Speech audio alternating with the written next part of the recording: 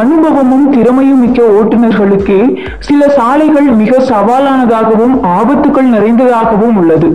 அந்த சாலையில் ஏற்படும் விபத்துக்கள் மற்றும் மரணங்களை வைத்து அவற்றை அபாயகரமானதாக வர்ணிக்கின்றனர்.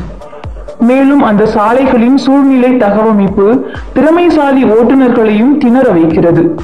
ஒவ்வொரு நொடியிலும் அபாயத்தை தாங்கி நிற்பதோடு புள்ளி விபரங்களின்படி அதிக உயிரிழப்புகள் நடந்த உலகின் மிகவும் அபாயகரமான சாலைகளின் விவரங்களைத்தான் இதில் பார்க்க போகிறோம்.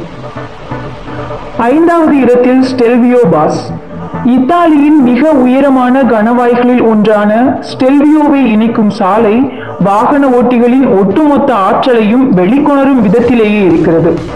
செங்குத்தானதாகவும் பல ஆபத்தான கொண்டை வளைவுகளுடன் வாகன ஓட்டிகளை அச்சுறுத்தும் இந்த சாலையில் விபத்துகளின் எண்ணிக்கையும் மரணிப்பவரின் எண்ணிக்கையும் மிக அதிகமாக இருக்கிறது. நான்காவதாக லாஸ் கரகோல்ஸ் கணவாய். சிலி நாட்டில் அமைந்திருக்கும் இது மிகவும் அபாயகரமான சாலை.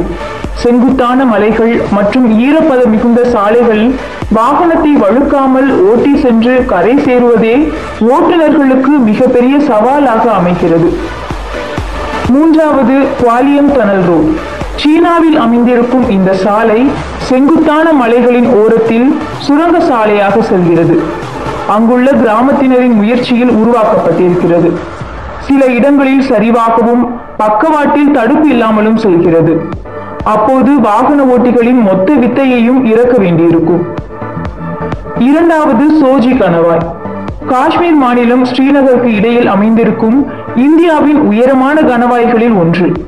தேசிய நெடுஞ்சாலை ஒன் டியில் அமைந்திருக்கும் இந்த கணவாய் வழியாக செல்லும் சாலை வாகன ஓட்டுநர்களுக்கு ஒவ்வொரு நொடியும் ஆபத்தானதாகவே அமைகிறது. முதலிடத்தில் ஸ்கிப்பர்ஸ் கேன்யான் சாலை. நியூசிலாந்து நாட்டில் ஸ்கிப்பர்ஸ் கேன்யான் சாலை உலகின் மிகவும் மோசமான சாலைகளில் ஒன்று.